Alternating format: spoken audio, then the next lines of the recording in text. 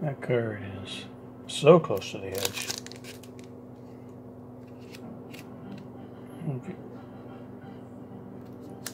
That's the penny sleeve.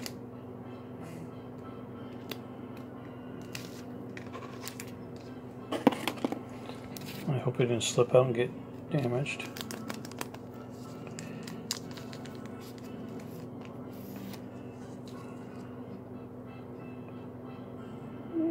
Looks okay to me.